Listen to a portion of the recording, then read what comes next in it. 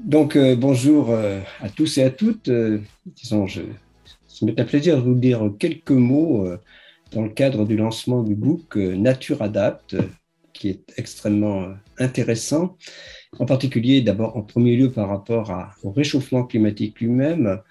Les principales conclusions du GIEC, du dernier rapport du GIEC, sont celles de la certitude. Ce que nous vivons aujourd'hui, effectivement, est ce que cette communauté scientifique anticipait euh, depuis une cinquantaine d'années ou une quarantaine d'années en termes de rythme de réchauffement, d'accélération de l'élévation du niveau de la mer, d'intensification des événements extrêmes.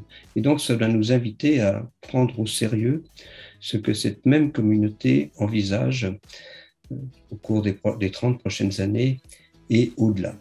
Le dernier rapport du GIEC met vraiment l'accent sur euh, la nécessité de se faire de la nature une alliée alors une alliée, je le dis bien, bien sûr, en termes d'adaptation, c'est tellement évident que la nature en ville est importante pour euh, lutter contre les îlots de chaleur l'été, mais aussi euh, une alliée dans, dans l'atténuation. Il y a beaucoup de, de possibilités effectivement de piéger un peu plus de carbone dans la végétation, dans les sols, euh, et si possible ne pas perdre les capacités de piégeage de l'océan. Donc c'est tout cela c'est aussi euh, dans les régions côtières et bien s'appuyer sur la nature pour euh, s'adapter à l'élévation du niveau de la mer plutôt que de lutter quelquefois inefficacement avec euh, simplement des digues. Donc c'est tout cela un peu, il faut de l'intelligence et cette intelligence dans la lutte contre le réchauffement climatique et l'adaptation peut nous être facilitée si nous regardons la nature qui nous entoure.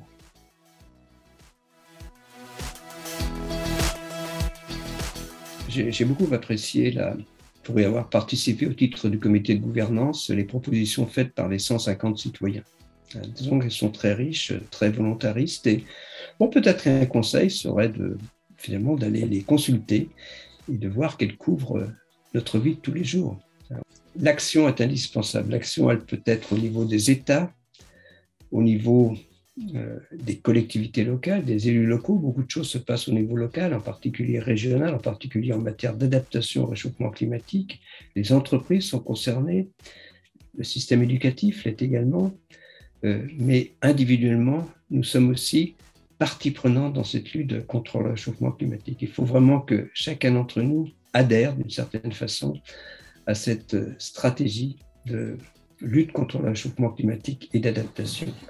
Et je, crois qu'effectivement, la prise de conscience de la réalité du réchauffement climatique, des risques qu'elle fait courir à notre humanité et euh, à la nature qui nous entoure, est un prérequis par rapport à l'action. Ce n'est pas suffisant pour l'action, mais euh, je crois que c'est euh, nécessaire pour que chacun d'entre nous, disons le maximum de personnes, s'impliquent dans la lutte contre le réchauffement climatique et cette nécessaire adaptation.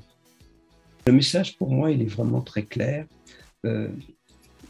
beaucoup se joue entre nous, euh, entre nous et la nature si on veut maîtriser ce réchauffement climatique et s'y adapter.